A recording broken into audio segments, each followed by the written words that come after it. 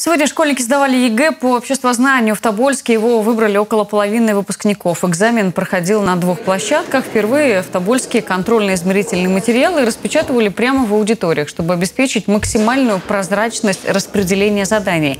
Испытание длилось почти 4 часа. Никаких нарушений наблюдатели не зафиксировали. В этом году мы наблюдаем за детьми, за работой в аудитории через сайт «Смотри ЕГЭ». Этим же сайтом могут пользоваться также родители и все желающие, кто зарегистрировался. То есть в прямом доступе онлайн-наблюдение. Результаты огласят примерно через неделю. Напомню, экзамен по обществознанию не входит в число обязательных, однако он необходим тем, кто намерен поступать в юридические и гуманитарные вузы.